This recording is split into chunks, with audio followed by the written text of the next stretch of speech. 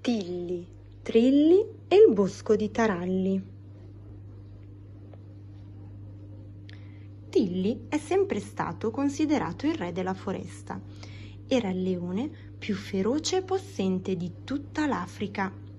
Era ammirato e temuto da tutti gli animali della foresta, che spesso tendevano a lasciarlo un po' in disparte, perché spaventati da lui. Il suo ruggito copriva distanze sterminate e con le sue falcate poteva raggiungere un luogo a chilometri e chilometri di distanza in pochissimi secondi.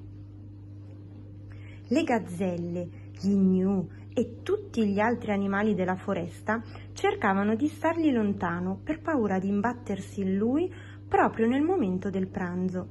Perché si sa, i leoni hanno molto appetito e loro non volevano certo diventare il suo pranzetto. In realtà però pochi di loro lo conoscevano davvero e sapevano che Tilly era un docile, tenerone e vegetariano leone. Tilly non voleva farne del male a nessuno, figuriamoci se voleva mangiarli. Sapeva di avere tanta forza ed energia in corpo e a volte non sapeva come fare per controllarle, per cui correva, correva e correva in modo da stancarsi e non provare più tutte quelle emozioni che lo facevano sentire sempre un po' agitato. Muoversi tanto e forte, come diceva lui, era l'unico modo che conosceva, ma non gli bastava. Era infelice perché era sempre da solo e nessuno lo capiva. Un giorno Mentre fingeva di dormire, alcuni animali della foresta si sedettero per riposare all'ombra di un albero vicino a lui e li ascoltò. Parlavano di un posto molto lontano da lì, dove gli animali sono tutti amici tra di loro. Un posto dove si trovavano tanto verde, tanta ombra e un grande lago, il lago dell'amicizia, in cui tutti gli animali si tuffavano per fare il bagno. Quel luogo, all'apparenza meraviglioso, era il bosco di Taralli. Che meraviglia! Proprio quello che vorrei! Un luogo dove avere amici e poter parlare con qualcuno, senza spaventarlo, solo perché sono un leone, pensò Tilly, e allora si decise e partì alla ricerca di quel bosco. Era molto contento, anche perché in Africa era caldo, troppo caldo per lui, che odiava sudare. Quando sudava troppo, gli si appiccicavano tutti i peli e la criniera sembrava brutta e sporca, mentre a lui piaceva essere pulito e profumato e soprattutto riposare all'ombra.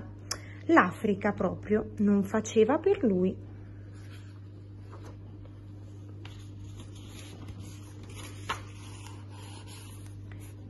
Passarono i giorni, le notti, la pioggia e il sole e Tilly camminava alla ricerca del bosco di taralli, quando a un tratto, in lontananza, vide un grande e verde bosco.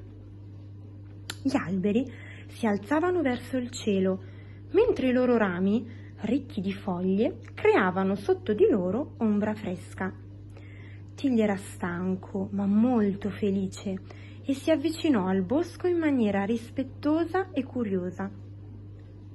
Ciao, sei uno nuovo?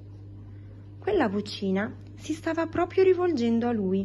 Tigli allora si voltò e vide una bellissima gattina bianca con dei profondissimi occhi verdi, con la coda morbida e il pelo folto. Ciao, io sono T- Trilli, disse la gattina.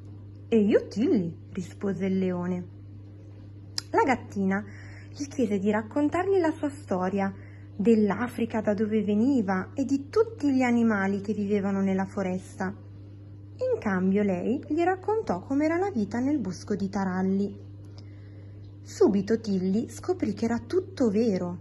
Lì gli animali erano tutti amici tra loro e soprattutto non si fermavano all'apparenza, all'aspetto esteriore, Infatti, proprio per questo, nei giorni successivi, scoprì che nessuno aveva paura di lui, perché era un leone.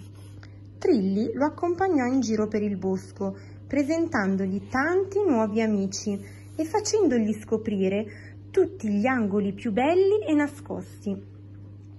Esplorarono caverne dove per entrare bisognava stare quatti quatti, saltarono sopra tronchi di alberi rovesciati e passarono sopra ponti pericolanti. Insieme a loro c'erano sempre tanti amici, coniglietti, uccellini, un meraviglioso airone e persino una famiglia di canguri provenienti dall'Australia. Il bosco di Taralli era un vero e proprio paradiso da esplorare in lungo e in largo